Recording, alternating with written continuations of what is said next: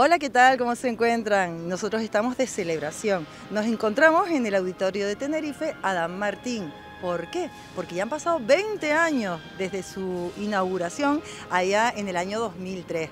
Un lugar que ha sido, además de la sede, la casa de la Orquesta Sinfónica de Tenerife, por el que han pasado premios Nobel, artistas de reconocido prestigio, ha habido actividad cultural, cinematográfica, de todos los ámbitos. Hoy se comienza con una programación que va a durar hasta el 26 de septiembre de 2024.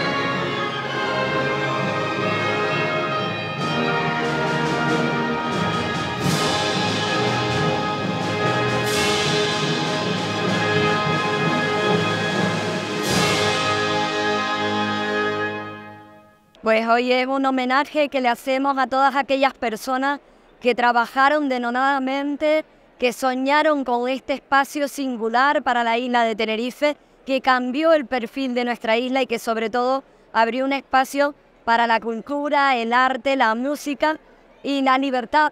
Eh, están representadas esas tres personas probablemente en los nombres eh, que representan pues, el arquitecto de este espacio tan singular, de esta obra de, obra de arte de la arquitectura moderna, Santiago Calatrava. Sin lugar a duda, eh, Víctor Pablo, el maestro Víctor Pablo Pérez, y la persona de quien toma su nombre esta obra, este auditorio de Tenerife, Adam Martín, el que fuera presidente del Cabildo y que para mí es un honor rendirles hoy homenaje a todos los que trabajaron para que Hoy, 20 años más tarde, podemos conmemorar pues 20 años de actividad cultural, de oh, música, de arte y sobre todo eh, de apertura al mundo, eh, bueno, al mundo de, por parte de Tenerife y de su cultura.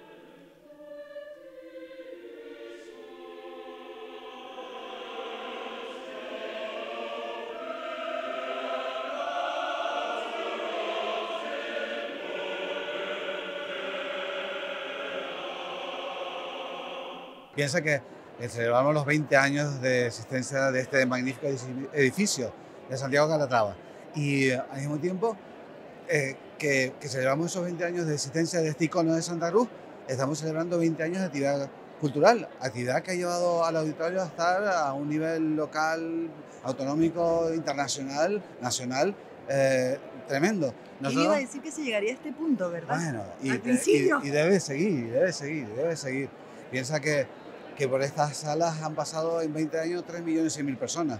estamos hablando de más de 7.700 espectáculos, que esto es un centro generador de producciones operísticas, eh, porque coproduce ópera con otros, centros, con otros centros, con otros auditorios, y al mismo tiempo tienen eh, trabajos sobre danza, trabajos sobre teatro, líneas didácticas de música. Es un centro enorme, con un montón de actividad. O sea que tiene que continuar esa proyección. Para eso se ha elaborado un programa que va a llevarse a cabo hasta el 26 de septiembre de 2024, muy bien elaboradito. Sí, y, eh, y pensando en que ese programa se une a lo que es la actividad normal del, del centro, o sea que esto va a funcionar eh, a tope, ya está a tope, pero va a funcionar mucho más. Esperemos que siga así, no cuatro, ni cinco, ni 20 años como mínimo. Está clara que la programación es de alto nivel, como me ha comentado antes, pero es que la respuesta del público, la respuesta de los tinerfeños es constante, ¿no? Es eh, actividad que se hace, generalmente el auditorio está en todo completo, eso es maravilloso. Sí, sí, sí, eso es maravilloso. piensa que tenemos dos salas y muchas veces estamos haciendo una actividad en una sala y en otra hay danza, por ejemplo, y también tiene su público y también se llena. Es un lugar magnífico desde el cual se puede desarrollar toda la cultura en Santa Cruz, una cultura que lleva a nivel internacional y al mismo tiempo ha tenido presencia también en los 31 municipios, porque han desarrollado líneas de trabajo en los 31 municipios. El día de hoy, entonces es bonito, cómo se va a celebrar la noche y se va a desarrollar. Es un cumpleaños. Eh, tenemos a la Sinfónica con la Orquesta, perdón, la, Orquesta Sinfónica de Tenerife, junto con el Coro de Madrid, también el, Coro eh, Insular y dirigido por Víctor Pablo, con un programa espectacular entre la fanfarria real de Pendenski y eh, la misa de Requiem de Verdi, pues es un gran, gran repertorio. Bonita manera de celebrarlo, la verdad. Pues felicidades a usted, felicidades al auditorio, a todo el pueblo tinefeño. Muchas felicidades por estos 20 años que se dice rápido, pero poniendo un año tras de otro. Sí, sí, te agradezco mucho. Además, porque también están de felicidades alguien muy, muy especial, que es todos los equipos que trabajan en el auditorio.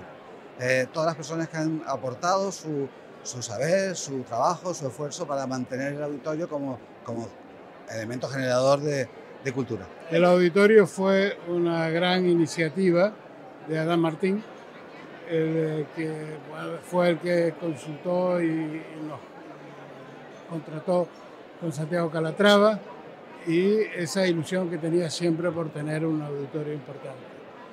Pero en eso, pues Adán pasa al gobierno de Canarias y yo al Cabildo y realmente toda la obra, toda la obra, todas las preocupaciones, todos los enfados y no enfados. Que hubo, que hubo, ¿no? Hubo mucho, mucho, fue muy difícil. ¿eh? Eh, fue, eh, fuimos nosotros, el, el, gobierno nuestro del Cabildo.